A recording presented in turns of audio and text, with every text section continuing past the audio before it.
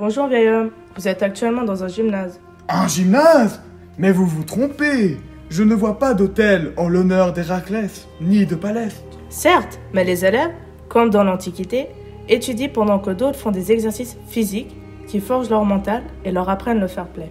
Baliverne Pour être habile intellectuellement, entraînez votre esprit avec des maîtres qui vous enseignent la culture générale et la rhétorique. Mais regardez-moi cet apoditérion Ô culte exagéré de la jeunesse et de la beauté, vous ne pensez qu'à ce que vous mangez et à vous faire dorloter par vos masseurs. Mais c'est précisément le sport qui fortifie le corps et qui permet d'affronter physiquement et mentalement le temps qui passe. Mais qu'est-ce qui plane là, devant nous? C'est un élève qui s'élance en hauteur et qui dépasse la gravité terrestre par la force de son mental. Par Hermès, mais que font ces jeunes filles?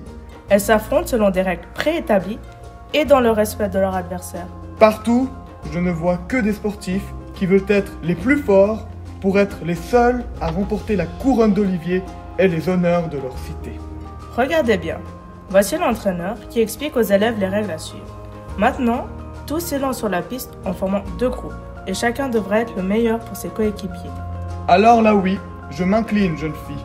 Vous avez donc inventé une nouvelle manière de faire des individus vigoureux et bons capables de gouverner la cité en étant généreux et solidaires pour leurs semblables.